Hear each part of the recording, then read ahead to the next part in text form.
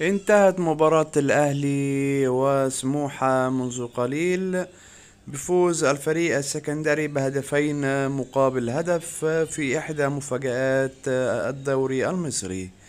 في المباراة التي جمعت الفريقين على استاد الأهلي وي بالسلام في اللقاء المؤجل من الجولة الحادية عشر لبطولة الدوري المصري.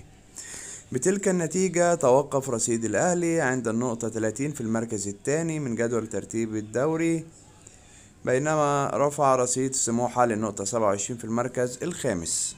تقدم سموحة أولا عن طريق حم حمود حليمو في الدقيقة 11 بعد مرور رائع من أحمد حمدي لاعب سموحة الذي مرر الكرة لحليمو الذي سجل الهدف على يسار محمد الشناوي حارس الأهلي الذي لم ينجح في التعامل مع الكرة حتى سكنت شباكه بسهولة.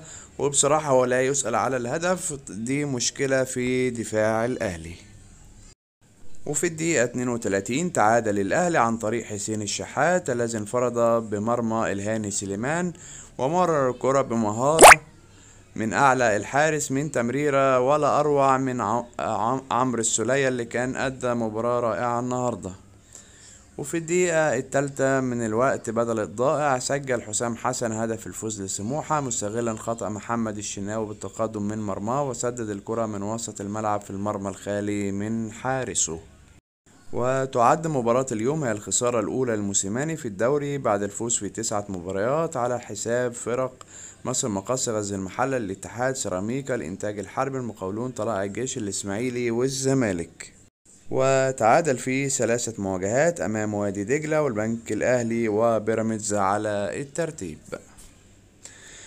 ألف مبروك لسموحة وهارد لك للنادي الأهلي اللي بيعاني من كثرة الإصابات والنهاردة كمان أليو ديانج اتصاب في ركبته.